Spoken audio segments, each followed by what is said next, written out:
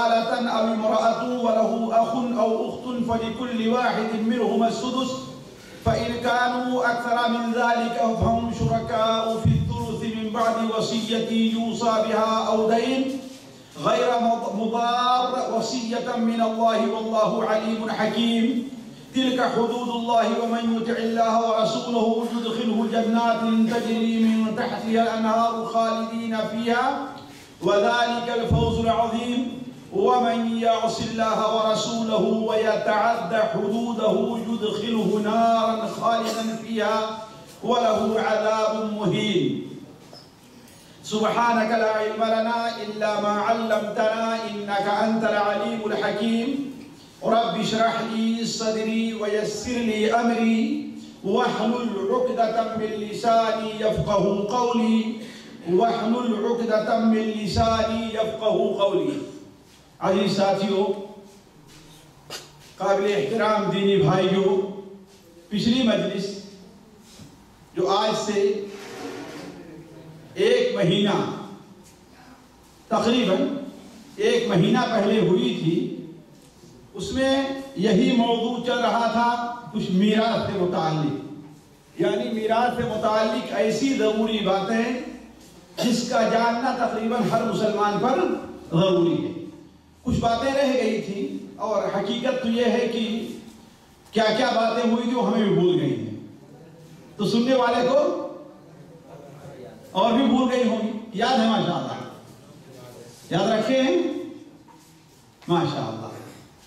तो ये चंद बातें हैं साथियों। मैं समझता हूँ कि इसमें आ, लोगों की सुनने में जो दिलचस्पी होती है उसका सामान कम है। इसलिए आज का दर्स पेश करने में काफ़ी मुतरद था और कल ही फैसला किया कि नहीं, मुझे वही दर्स पूरा करना है। जरा ज़ोर दे करके सुन लेंगे, हो सकता है चंद बातें अगर किसी हमारे भाई को याद रह जाए तो उसके लिए फ़ायदेमंद साबित हो। या किसी दूसरे भाई का उसके ज़रिए वो हिदायत का सबब बन जाए। देखिए, आज की मजलिस में पहली बात जो जानना चाहिए वो ये है कि मैयत जिन लोगों को अपने जिन अज़ीज़, करीब और रिश्तेदारों को छोड़ करके जा रहा है, उनमें कुछ लोग ऐसे हैं जिन्हें उसके छोड़े हुए माल में से कुछ न कुछ मिलना ही है। वो थोड़ा छोड़ करके जा रहा है या ज़्यादा? हत्ता कि अगर वो अपने जिस्म के ऊपर एक कपड़ा और अपने हाथ में एक घड़ी छोड़ करके क्यों नहीं जा रहा है? फिर भी उसमें उन लोगों का हिस्सा ज़रूर है। और जैसा कि पिछली मजलिस में हमने कहा था कि इसमें यह नहीं कि इंसान कबूल करे या ना कबूल करे। उसे ऑटोमेटिक उसकी आँख बंद हुई नहीं मरने वाले की कि उसका हिस्सा उसके अंदर आ जाता है। अब दुनिया में कोई ऐसी ताकत नहीं है कि उस हिस्से को बातिल करे। इल्ला है कि शरीयत ने जो शुरूत रखी है, उनमें से कोई उसके अंदर न पाई जाए, जैसा कि अभी मैं वो शर्तें आपके सामने रखूँगा तो ये यकीन माने कि कुछ ऐसे लोग हैं कि उन्हें हिस्सा ज़रूर भी ज़रूर मिलेगा। कोई चाहे या ना चाहे। चाहे मरने वाला चाहे या ना चाहे मरने वाला लाख चाहे मैं जो छोड़ करके जा रहा हूँ उसमें फला फला का हिस्सा नहीं है तो उसके चाहने से अगर वो लिख करके भी जाए शरीयत की रोशनी में तो वो भी बातिल है। उसका नाफिज करना जाए नहीं। और जिसको मिल रहा है, वो ये कहे, नहीं भाई, मेरा इसमें हिस्सा नहीं है तो उसके कहने से भी नहीं होगा।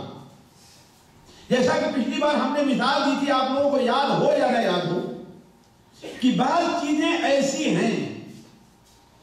बाद अमाल ऐसे हैं, खुद आपके जिस्म के अंदर। बाद हरकतें ऐसी हैं जो आपके इख्तियार में हैं।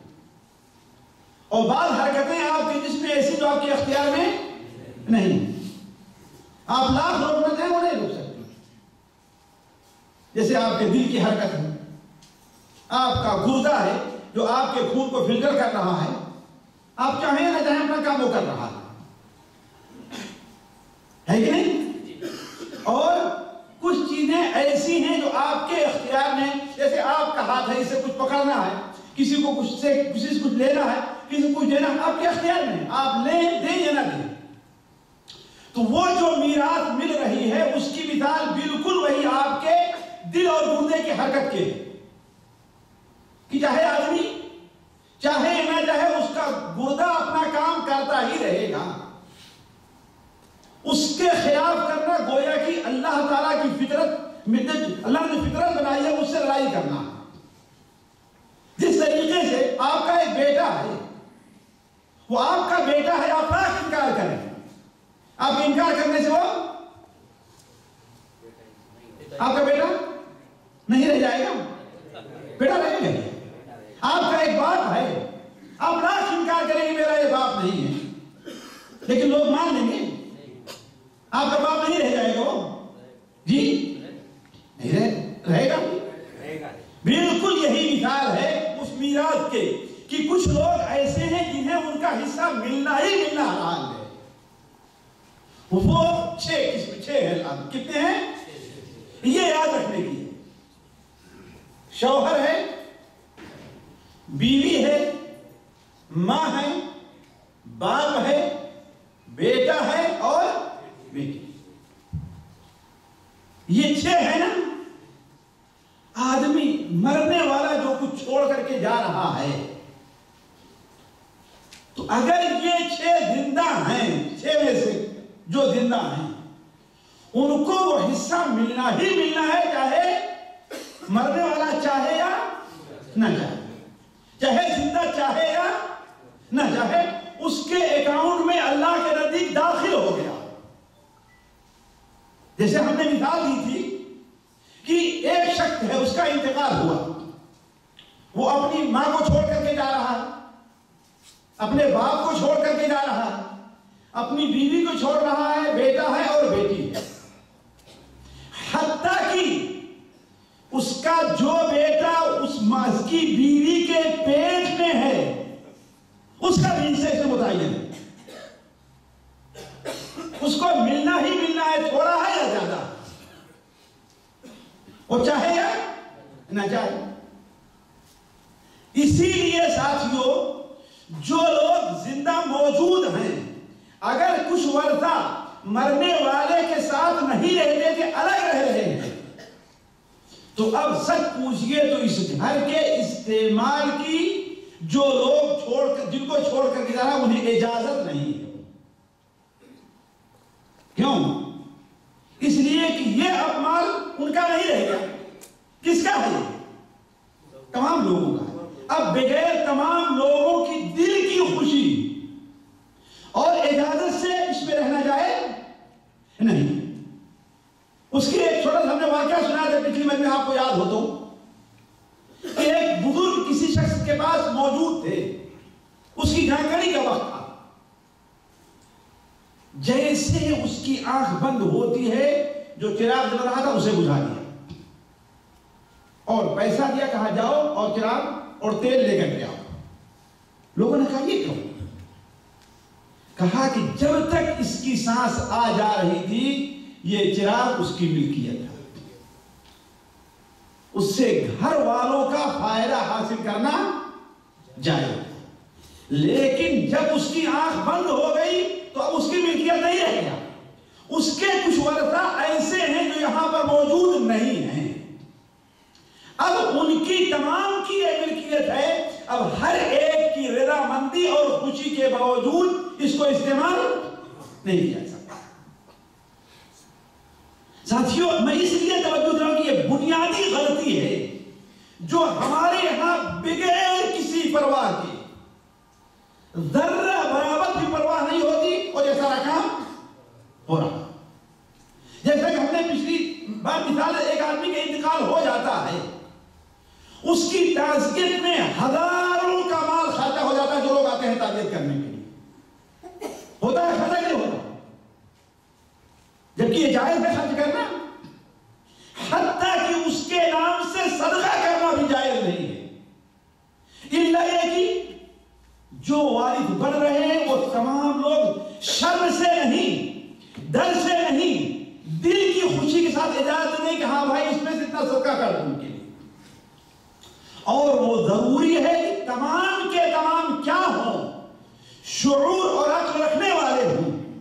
अगर मासूम बच्चे हैं, चार साल, पाँच साल, आठ साल, दस साल के तो आप उस पैसे से जो लोग ताजियत के लिए आ रहे हैं, उनके ऊपर खर्च करना उस घर से जाए नहीं। क्यों? कुछ बच्चों ने इजाज़त दी अगर इजाज़त दें भी तो अपनी मसले को नहीं समझते। है मामला खतरनाक। तो इस पर तवज्जो देने की ज़रूरत है तो मैं कह रहा था, कुछ लोग ऐसे हैं जिनका हिस्सा शरीयत में मुतयन है, कभी भी वो खत्म नहीं हो सकता। जैसे कौन है? बाप है। माँ है। जी। और? शौहर है। और? बीवी है। और? भाई है। जी? भाई नहीं? भाई नहीं हमारे जी। भाई भी और बेटी भी है। अभी बोल गए आप। हमने भाई का नाम ही नहीं लिया। जी। बेटा और बेटी ये छे इनमें से अगर कोई नहीं रहेगा, बाप नहीं है तो कहीं दादा उसका हिस्सा लेगा। है ना? बेटा नहीं है, बाप नहीं है तो भाई उसका हिस्सा लेंगे, अलग मसला। है लेकिन ये जो हैं, चाहे कोई मौजूद है या मौजूद नहीं है, हर हालत में ये छह है, उनका हिस्सा मुतयन है। कभी भी उनका हिस्सा साबित नहीं होगा। कौन? बाप, माँ, शौहर, बीवी। साथियों, इसमें बड़ी गलती हमारे यहाँ होती। मिसाल के तौर पर एक शख्स है और अच्छे पैसे वाला। उसने एक औरत से शादी की, अभी रुखसती नहीं हुई। अभी रुखसती नहीं। उसका इंतकाल हो गया। तो उसमें उसकी बीवी का हिस्सा है या नहीं? जी? है। निकाह हो गया उसकी बीवी और अगर उसकी कोई और औलाद नहीं है तो बीवी का चौथाई हिस्सा है साथियों। कितना? चौथाई हिस्सा है। लेकिन हमारे यहाँ कोई सोचता है देने के लिए? जी? कोई सोचता? जबकि शरीयत में नाजायज और हराम है कि वो हमारे किसी दूसरे के पास जाए। इसी तरीके से किसी औरत का इंतकाल हुआ। उसकी शादी तो हुई थी, लेकिन उसकी रुखसती नहीं हुई। तो वो थोड़ा बहुत कुछ तो छोड़ के जा रही नहीं जा रही एक बाली उसके कान में होगी कि नहीं होगी? होगी ना? उसमें उसके शौहर का भी हिस्सा है। इसका अगर इस औरत, लड़की के औलाद नहीं है, कितना हिस्सा शौहर का है? आधा है अभी आगे हम बताएँगे। कितना है? आधा है। लेकिन कोई देता है? ये मीराज से हमारे यहाँ नादानी की दलील इसीलिए मैं ये मौजू रखा कि मोटे मोटे जो मसाइल हैं साथियों, हमें उस पर तवज्जो देनी चाहिए। तो कहने का मतलब यह है कि ये छह वो हैं जिनका हिस्सा हर हाल में लिरिजाली नसीबुम मिम्मा तरकल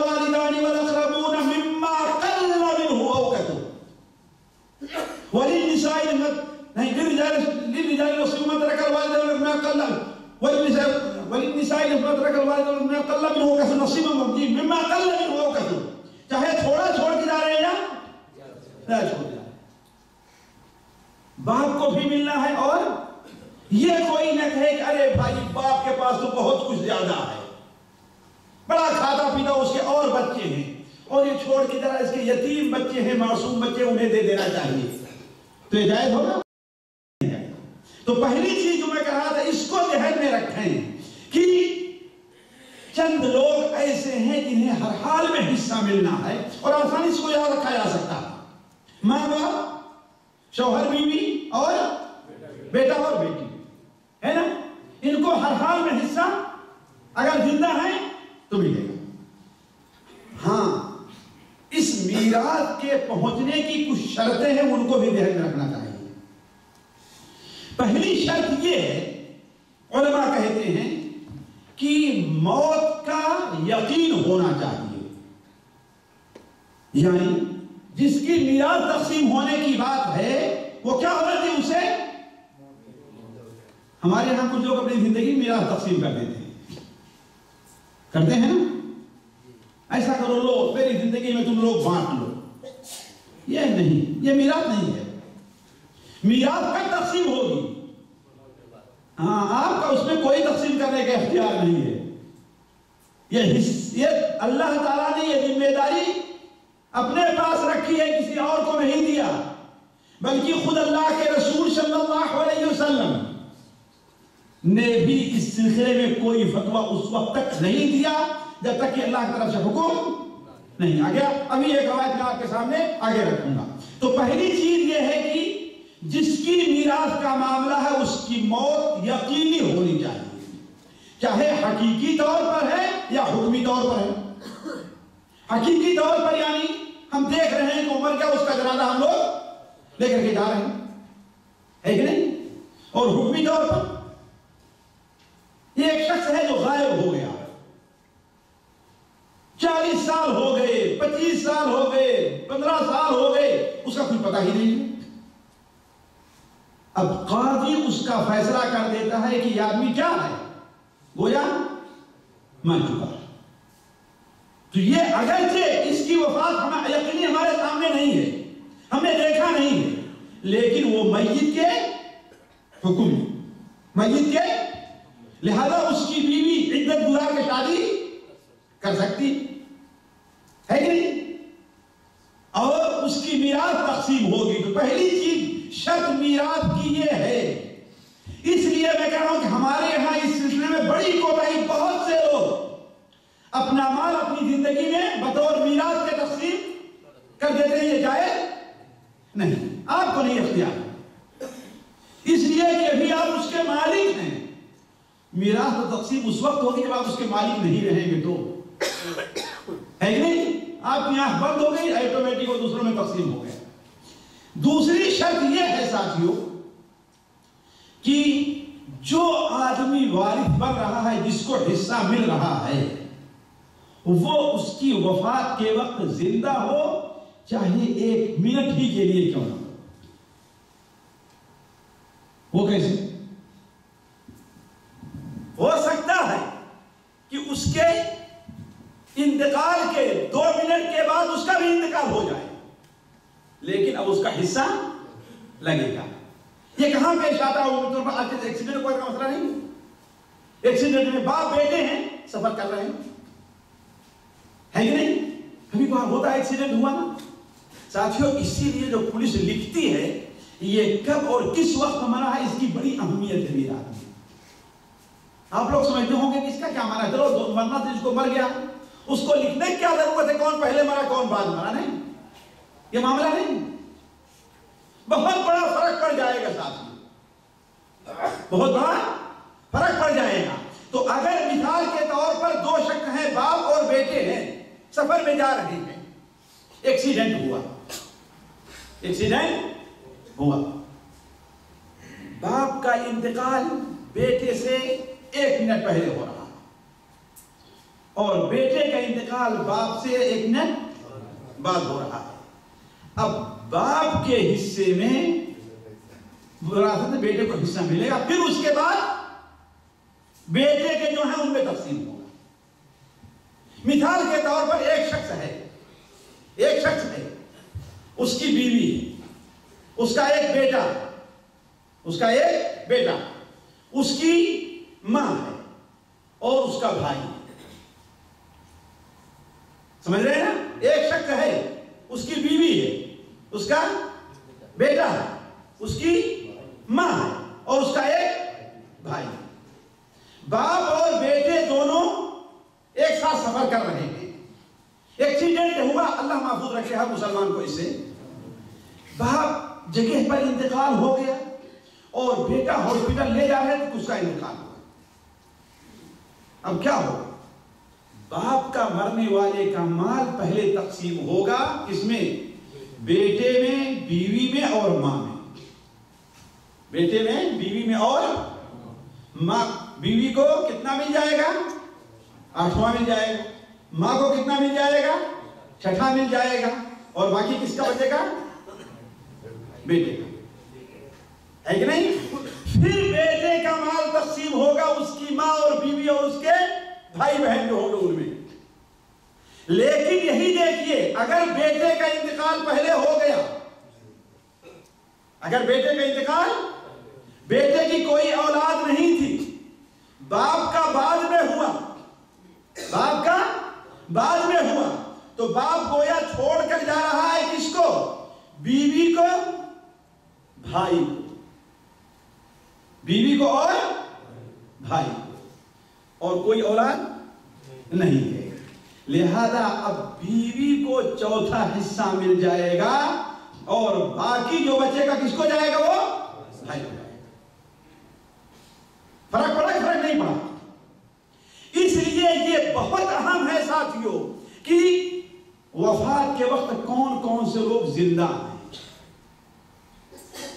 चाहे वफात के दस ही मिनट तक ज़िंदा हो पाँच ही मिनट, एक ही मिनट तक ज़िंदा रहे। लेकिन वरासत को उसका हिस्सा लग जाएगा। तो कहने का मतलब पहली चीज़ ये वरासत की दूसरी शर्त ये है कि जो शख्स वारिस बन रहा है, उसकी वफात के वक्त वो ज़िंदा हो, खा, थोड़ी देर ही के लिए क्यों? और तीसरी चीज़, कुछ ऐसी चीज़ें हैं जो इंसान के दरमियान और उसके वारिस बनने के दरमियान रुकावट बन जाती है यह नहीं पाया जाना चाहिए। कुछ ऐसी चीज़ें हैं कि इंसान के दरमियान और वारिस बनने के दरमियान रुकावट बनती है। और यह शराई चीज़ है, किसी के अपने इख्तियार में नहीं ये कहे कि हाँ भाई, इसको मैं आग करता हूँ, मेरा वारिस नहीं बनेगा। जैसे आजकल हमारे यहाँ होता है बेटा नालायक निकल गया अखबार में निकाल देंगे। कि हाँ भाई, हमने उसको आग कर दिया। आपके आग करने से वो आग नहीं होगा। शरीयत ने उसका हिस्सा दिया है, आपका इंतकाल हो गया। उसको मिलेगा, वो नेक है, बुरा है, उसने आपकी खिदमत की है खिदमत नहीं की है, खिदमत नहीं की है, अल्लाह के यहाँ उसका जवाब दे होगा। खिदमत की है, अल्लाह उसका बदला देगा। है कि नहीं? लेकिन आपके मीरास में आपने हिस्सा नहीं कितना हिस्सा रखा अल्लाह तो वो कौन कौन सी चीज़ें हैं जिसकी वजह से इंसान किसी का वारिस नहीं बनता? साथियों, पहली चीज़, और हमारे यहाँ इस पर तवज्जो नहीं, पहली चीज़ कत्ल करना है। क्या? कत्ल। हत्ता कि अगर गलती से भी कत्ल हो जा रहा है, कोई आदमी शिकार को मारने जा रहा था ना, लेकिन अपने बेटे को लग गए अपने भाई को लग गए अपने बाप को लग गए ऐसा हो सकता है ना होता है ना? तो कातिल को मकतूल की मीरात से हिस्सा नहीं मिलेगा। और बहुत से लोग तो हैं क्या करते हैं? मीराती के लिए कत्ल कर देते हैं अपने अब्बू को, अपनी अम्मी को, है कि नहीं? तो हमारे यहाँ चूँकि कोई निज़ाम नहीं है, वरना ऐसा जो शख्स है, उसे मकतूल यानी जो मरने वाला मुतवफा कत्ल के ज़रिए है उसके माँ से इसको हिस्सा मिलने वाला नहीं है। नबी करीम वसल्लम का फरमान, सुनन तिरमिजी वगैरह में है अल कातिल ला यरिद। जो कत्ल कर रहा है किसी को, वो वारिद नहीं हत्ता की उलमा ये कहते हैं कि अगर कोई आदमी किसी से गलती से भी कत्ल हो जा रहा है तो फिर भी उसके माँ को महरूम कर दिया जाए वरना हर आदमी कहे भाई, क्या है? हमसे गलती हो गई। है कि नहीं? मैं मारना नहीं चाहता था। मैं थोड़ी समझता था कि एक लाठी मार रहा हूँ मर जाए। है कि नहीं?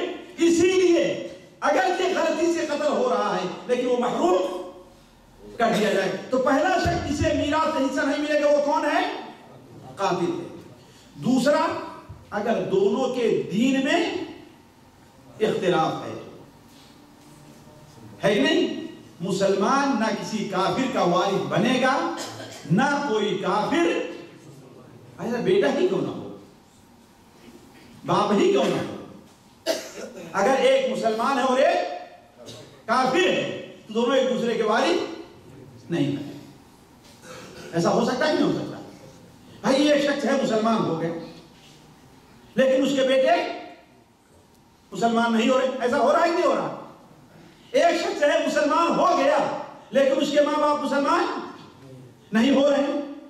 उसकी बीवी मुसलमान इसीलिए अगर किसी शख्स ने ऐसी औरत से शादी किया है जो यहूदी या नसरानी है, जायज़ है ना? जायज़ है ना? अहले किताब से शादी।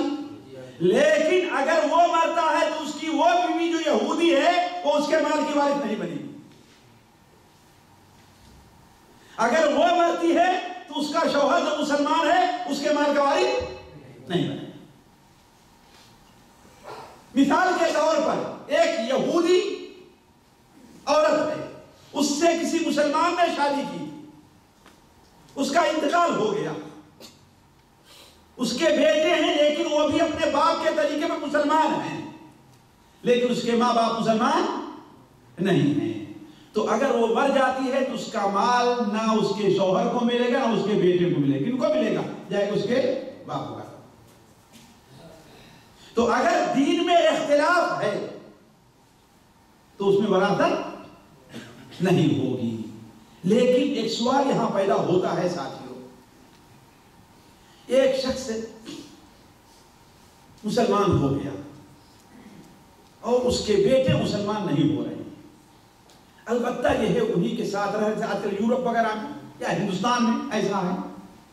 यहाँ आपके पाकिस्तान में जैसे मसीह और ये है कि नहीं? अगर एक मुसलमान हो जाए और उसके बेटे मुसलमान नहीं हो रहे, लेकिन वो बीमार हुआ, उसके बेटे उसकी पूरी खिदमत कर रहे हैं। बेटे उसकी पूरी खिदमत कर रहे हैं, उसकी पूरी मदद कर रहे हैं। लेकिन वो मुसलमान है, वो कलमा पढ़ने के लिए तैयार नहीं है। अब अगर मर जाए तो? हैं? उनकी खिदमत कहाँ गई? हैं? उनको अल्लाह के पास क्या मिलने वाला? यहूदी और नसरानी उनको वो अजर मिलेगा? अजी उसे कौन सा अजर मिलने वाला? देखिए साथियों, इस्लाम अदल का मज़हब है। किसका? अदल का, यानी हर एक को उसका पूरा हक दिया गया। हमारे यहाँ ये कहते हैं कि इस्लाम दीन मुसावात है, इस्लाम दीन मुसावात नहीं। इस्लाम दीन अदल है। नेक और बुरे अल्लाह के नज़दीक बराबर नहीं। है कि नहीं? एक बाप के दो बेटे हैं, एक अच्छा है, एक बुरा है, आप कहीं मुसावत है लेकिन दोनों बराबर नहीं। लेकिन इस्लाम दीन अदल है कि हर एक को उसका हक पूरा दे रहा है। है कि नहीं? तो अब ऐसा मरने वाला अपने माल में से एक तिहाई तक की वसीयत ऐसे लोगों को कर सकता है। अरे बात सुने ना? एक तिहाई माल तक की वसीयत अपने लोगों को कर सकता है, जिसने उनकी खिदमत की है, ताकि किसी काफिर का एहसान क़यामत के दिन उसके ऊपर ना रहे। है कि नहीं? वो कर सकता है, लेकिन अला कुल हाल मीरात से हिस्सा नहीं मिलेगा। तो कहने का मतलब है कि दूसरी दूसरी चीज़ जो वरासत में माने होने वाली क्या है वो? दीन का इख्तिलाफ है सही बुखारी शरीफ में नबी करीम सल्लल्लाहु का फरमान है, ला काफिरुल मुस्लिमा। काफिर ना मुसलमान का वारिस बनेगा और ना मुसलमान काफिर का वारिस बनेगा। तीसरी चीज़, जो मीरास मिलने में रुकावट बनती है, वो गुलामी जो आजकल अल्हम्दुलिल्लाह खत्म है आजकल नहीं पाई जाती लेकिन खुदा न खास्ता अगर मुस्तबल में हो या जैसे, जैसे पहले रहा है तो गुलाम अगर बाप है उसका इंतकाल होता है तो उसकी विरासत उसके बेटों और उसकी बीवी में तकसीम नहीं होती। गुलाम अगर बेटा है अगर इंतकाल होता है तो उसकी विरासत उसके बाप और उसके भाइयों माँ वगैरह में तकसीम नहीं होगी। बल्कि उसकी विरासत किसको जाएगी? किसको जाएगी? जो उसका मालिक है। किसको जाएगी? जो उसका मालिक है। यानी गोया उसको का हिस्सा मिलने वाला नहीं है। चौथी चीज़, जो रुकावट बनती है, वो हरामी औलाद, जरा साथियों, इसको अच्छी तरीके से समझेंगे। एक मसला आपके यहाँ का हल हो जाएगा। एक हरामी औलाद है। और वो भी अपने बाप के तरके से उसको कोई हिस्सा मिलने वाला नहीं।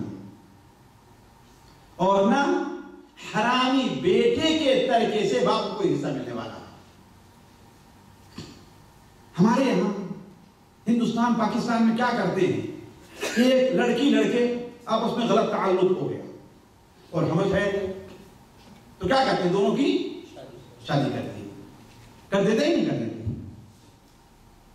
ताकि वो लड़का किसका माना जाए? देखिए खतरे की बात है गलती की बात है, गुनाह की बात वो हरामी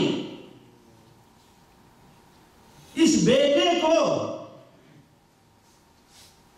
अपने बाप की जायदाद से हिस्सा, ना उसकी जायदाद से बाप को हिस्सा मिलेगा। ये देखें हमारे यहाँ वसाओकात कैसी गलतियाँ करते हैं और दीन न समझे लिखे लोग। आम मौलवियों को भी ये मसाइल की तरफ़ तवज्जो है। मैं नहीं कह रहा उन्हें मालूम, नहीं मालूम है, पढ़ा है, लेकिन तवज्जो, याद नहीं। तो कहने का मतलब कि हरामी औलाद जो होती है, वो अपने बाप की जायदाद से उसको हिस्सा मिलने वाला नहीं है। नबी करीम वसल्लम की हदीस है सुनन तिरमिजी के अंदर। आप वसल्लम ने इरशाद फरमाया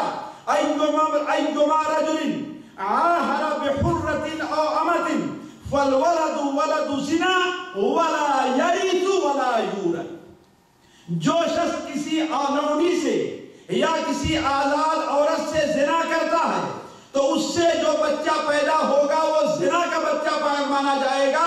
न उसका वारिस वो बनेगा न उसका वारिस वो और तुम्हारे जाहिलियत में चूँकि ये चीज़ आम थी इसलिए आप वसल्लम ने उसकी तो, तो उसका जो है उसका ज़िक्र फरमाया। और पांचवी चीज़ जो रुकावट बनती है वो लिहान लिहान यानी किसको कहते हैं? शरीयत में मियाँ बीवी के दरमियान जुदाई का एक मसला वो क्या है? शौहर ने अपनी बीवी को जिना करते देख लिया। देखा है कि किसी मर्द के साथ वो गलत काम के अंदर मशगूल है। अब जा करके अगर कत्ल करता है तो उसके बदले उसको कत्ल किया है। क्यों तुमने कत्ल किया? है ना और अगर कत्ल नहीं करता तो कितनी बेगैरती की बात होगी, वो कैसे उसको बर्दाश्त करेगा? और अगर जा करके शिकायत करता है तो गवाही ले चार गवाही पेश करो, वरना तुम्हारे ऊपर कोड़े बरसेंगे। क्या किया जाए? है ना? सोचने की बात है नहीं बात? तो उसका शरीयत ने हल क्या। रखा है इसलिए कि बाद लोग होते हैं जिनके बड़े हसास रहते हैं।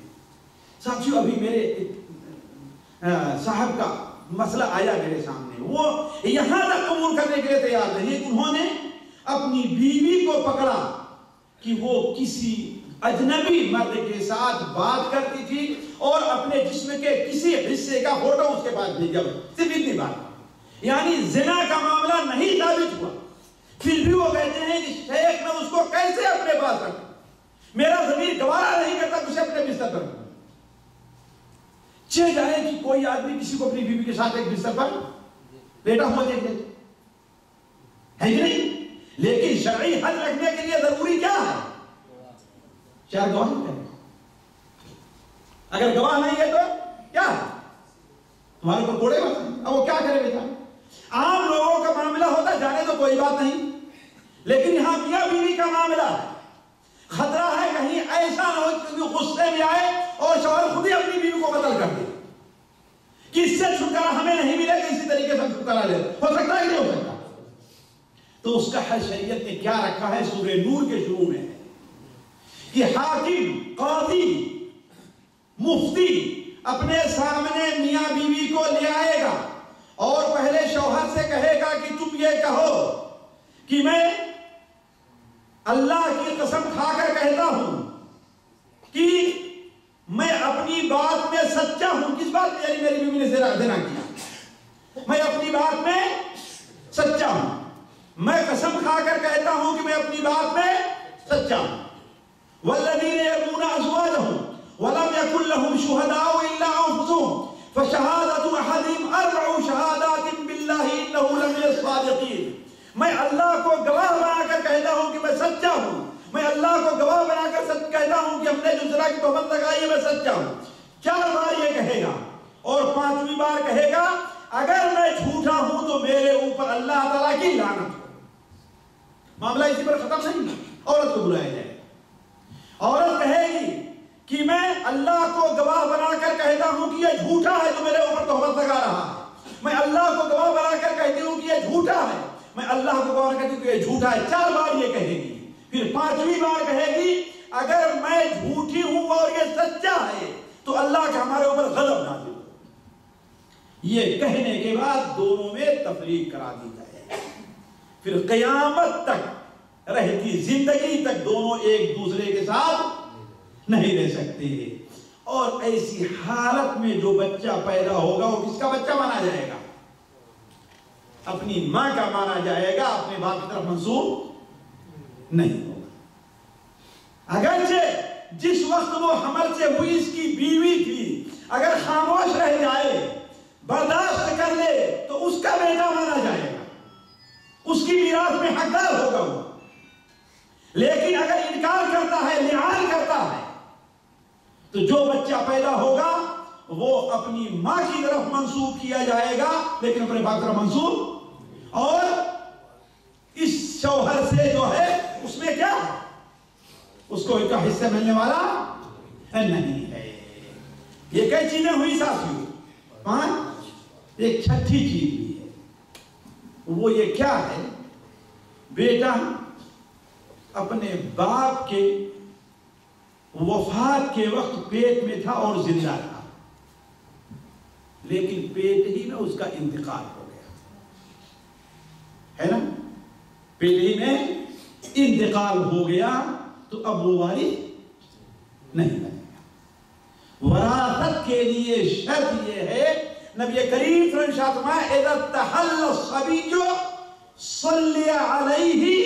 वरी। अगर बच्चा पैदा हुआ, हो गए चिल्लाए से बच्चे पैदा तो रोते हैं अगर रोए, हरकत करे, खांसे छींक आ जाए चाहे फिर उसके दो मिनट के एक मिनट बाद ही मर के मर जाए लेकिन अब पैदा हुआ तो क्या था वो? ज़िंदा था। तब तो वारिस होगा। और अगर ज़िंदा नहीं था तो? वारिस?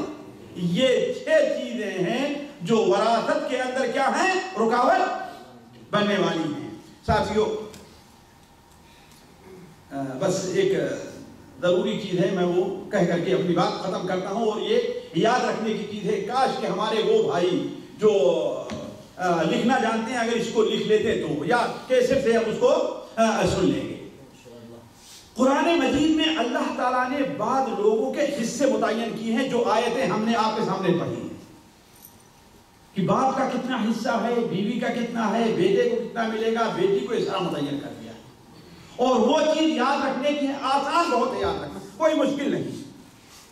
लेकिन चूँकि अभी आप शायद पहली बार सुने, इसलिए क्या है मुश्किल रखो उसका याद रखना। याद रखना मुश्किल नहीं। मिसाल के तौर पर जो हमने कहा कि छह ऐसे हैं जिनको मैयत के सरके से हरात में हिस्सा मिलने वाला। जैसा कि अल्लाह ताला फ़ी औलादिकुम लिद्दकरी मिथलु हज़्ज़िल उनसयैन फरमाता। अल्लाह ताला वसीयत करता है कि तुम्हारी औलाद में से लड़कों को लड़की का डबल मिलेगा। ये नहीं कहा कि लड़की को लड़के का आधा मिलेगा। पर कहे दोनों ने क्या कहा? लड़के को लड़की का डबल मिलेगा। अगर कोई ये कहे कफील कि आज मैं तुम्हारी आधी तनख्वाह काट देता हूँ, है ना? एक तो ये है। और दूसरा यह है, कहे देखो, आप काम नहीं करते हो तो जो काम करता है मैं उसको तुम्हारा डबल दोनों में फ़र्क है नहीं फ़र्क? जी? फ़र्क है ना? गोया आधा एक नस और कमी है। अलबत्ता तुम्हारा जितना हिस्सा है, तुम्हारा हिस्सा मिलेगा। लेकिन दूसरे को किसी वजह से उससे ज़्यादा मिल जाएगा तो अल्लाह तला फरमाता है कि तुम्हारी औलाद में अल्लाह यह वसीयत करता है कि उनसे मर्द को लड़की का नर को मादे का कितना मिलेगा अब साथियों ये आयत जो हमने आपके सामने तिलावत की है सूर्य निसा की ये ग्यारह बारह आयत जो है उसको पढ़िएगा और एक सुनते चलिए देखिए पहले आप बाप को लिखिए बाप का हिस्सा कितना है साथियों कुरान मजीद में बाप का हिस्सा मुतयन है कितना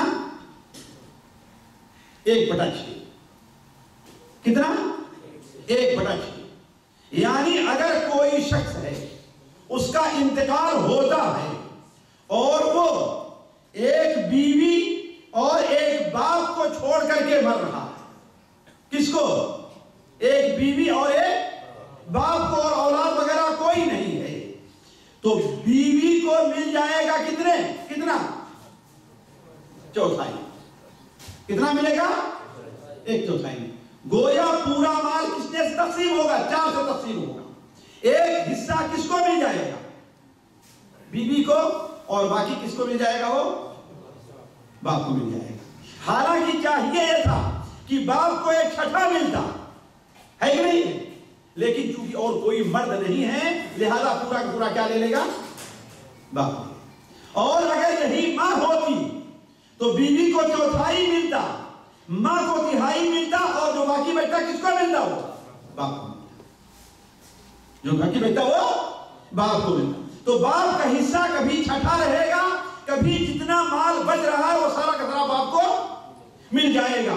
मिसाल के तौर पर एक शख्स का इंतकाल होता है। वो एक बेटे को छोड़ता है और एक बाप को छोड़ता है। एक बेटे को छोड़ा और एक बाप को छोड़ा। तो बाप को छठा हिस्सा मिल जाएगा और बाकी जो बचेगा वो पूरा बेटे को हो जाएगा और अगर बेटा बेटी है तो बाकी में दोनों आधा आधा लड़की को एक और लड़के को डबल वो तकसीम कर लेंगे। है कि नहीं? तो बाप का हिस्सा कितना है साथियों? एक बटा छ और अगर कोई मरने वाले की नर औलाद नहीं है तो जो बाकी बचेगा वो भी बाप का हिस्सा हो जाएगा। माँ है, माँ का हिस्सा कितना? है या तो माँ को एक बटा तीन मिलेगा, या माँ को एक बटा छह मिलेगा। अगर मरने वाले की औलाद है तो माँ को एक बटा छह मिलेगा। है ना? अगर मरने वाले की औलाद और भाई बहन नहीं है देखेंगे मरने वाले की औलाद और भाई बहन नहीं है तो माँ को एक बटा तीन मिलेगा। कभी कभी ऐसा होगा साथियों कि माँ को बाप से ज़्यादा हिस्सा मिल जाएगा। माँ को बाप से ज़्यादा हिस्सा मिल जाएगा। वो कैसे? जी वो कैसे? इसलिए कि एक इंसान का इंतकाल होता है वो एक बीवी छोड़ रहा है और एक बाप छोड़ रहा है और एक माँ छोड़ रहा है। माँ को कितना हाँ, बीवी को कितना मिल जाएगा? जी चार में से एक मिल गया। और नहीं, ये मसला किस आठ तकसीम होगा ये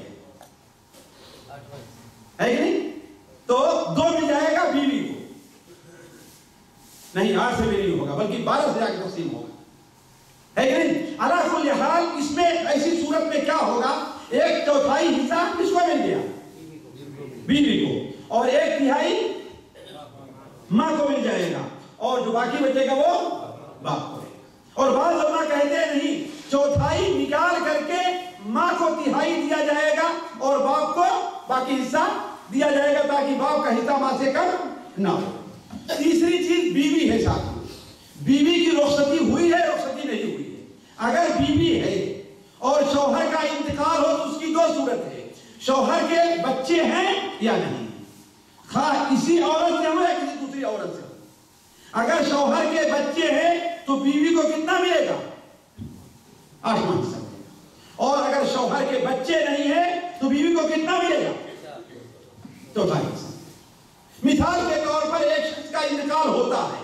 वो एक बीवी और एक बेटा छोड़ करके मरता आठ हिस्से में एक हिस्सा किसको मिल जाएगा?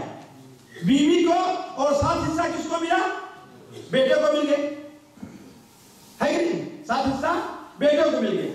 और अगर किसी का इंतकाल हो वो इंसान बीवी को छोड़ता और अपने चचा को छोड़ता है। एक बीवी है और एक चाचा। है। औलाद नहीं है। तो बीवी को कितना मिलेगा? चार में से एक मिल जाएगा। तीन बचता है किसको मिलेगा वो? चाचा को मिल जाएगा। हमारे यहाँ चाचा को देते हैं? सारा का सारा बीवी को दे देंगे है कि नहीं? भाई नहीं भी है है कि नहीं देखिए बीवी को कितना मिला चार में से एक मिला और चचा को हिस्सा मिला इसी तरीके से बेटी है साथियों, बेटी के साथ अगर बेटे हैं तो ये मसला सबसे आसान है। बेटी के साथ अगर बेटे हैं तो मसला क्यों? इसलिए कि जिनका हिस्सा मुतयन है, उनको देने के बाद क्या होगा? सारा का सारा बेटी बेटे आपस में एक, दो हिस्सा तस्लीम कर लेंगे। लेकिन अगर नरीना औलाद नहीं है तो बेटी अकेली है तो उसे आधा हिस्सा मिलेगा। और अगर एक से जायद है बेटियाँ तो दो तिहाई हिस्सा एक शख्स का इंतकाल हुआ मिसाल के तौर पर। और वो एक माँ को, एक बाप को, एक बीवी को और दो बेटियाँ छोड़ करके जाता है कि नहीं? बीवी को आठवां हिस्सा मिल गया।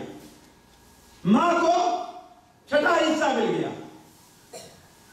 और दो जो हैं वो दो तिहाई उनको मिल जाएगा और बाप को छठा हिस्सा मिल जाएगा। तो गोया बेटी की दो सूरत है, अकेले है या कि दो या दो से ज़्यादा है अगर अकेले है और भाई उसके नहीं है तो उसको बाप के तरीके से कितना मिलने वाला है? जी, आधा मिलने वाला है। और अगर दो हैं तो?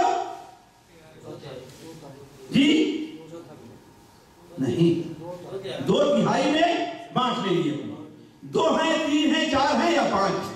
अच्छा एक मसला और जो बसा अवकात अजीब मालूम होगा। ये बताइए, इंसान के ज़्यादा करीब, उसके, उसका वो भाई है, जो माँ एक है दोनों की, और एक भाई वो है जिसके माँ बाप दोनों हैं। मिसाल के तौर पर, एक इंसान का, शख्स का इंतकाल होता है, उसके ना बेटा है, उसका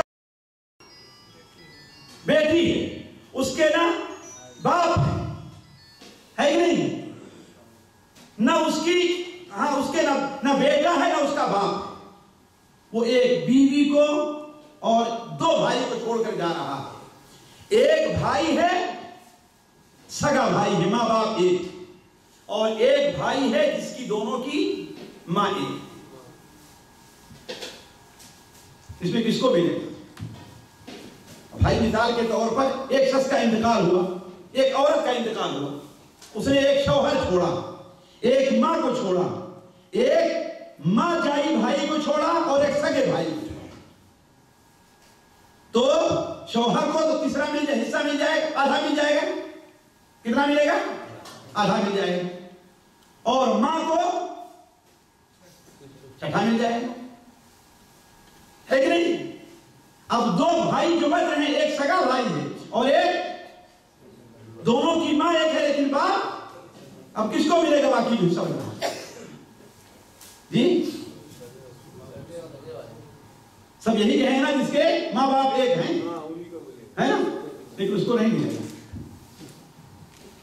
कुरान मजीद में अल्लाह ताला ने उसका हिस्सा मुतयन किया है जिन दोनों की माँ एक है। ऐसी सूरत में अगर एक शख्स का इंतकाल हो, वो बीवी छोड़ या एक औरत का इंतकाल हो वो शोहर छोड़ रही है, माँ छोड़ रही है, एक सगा भाई है और एक माजाद भाई है। तो शोहर को उसका आधा मिल गया, मिसाल के तौर पर छह में तकसीम हुआ। शोहर को कितना मिल जाएगा? तीन मिल जाएगा। शौहर कितना मिलेगा? माँ को कितना मिलेगा? छह में का एक मिल जाएगा। बाकी कितना बचेगा? दो बचेगा। वो किसको मिलेगा?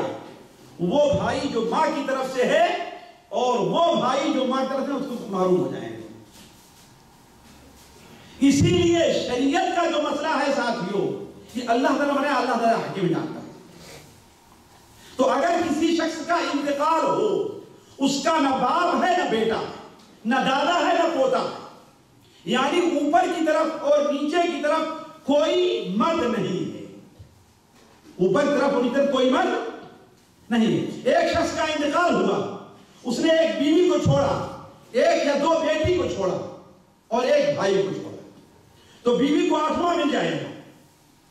बीवी को, बेटी को आधा मिल जाएगा अगर एक बेटी है। तो है ना? और बाकी कितना जाएगा? भाई को मिसाल के तौर पर उसके पूरे माल को आठ हिस्सों में तक से आठ लाख उसने छोड़ा है। आठ लाख छोड़ा तो चार लाख किसको मिल जाएगा? बेटी को। एक लाख किसको मिल जाएगा?